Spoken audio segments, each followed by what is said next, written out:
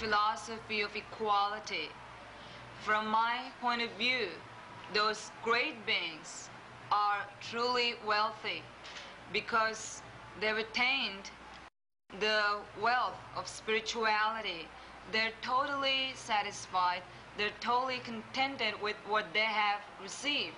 If you always have the desire, if you always have the expectation to get more and to earn more, then you're a beggar no matter how rich you are. Only if you're satisfied with yourself, you're truly rich.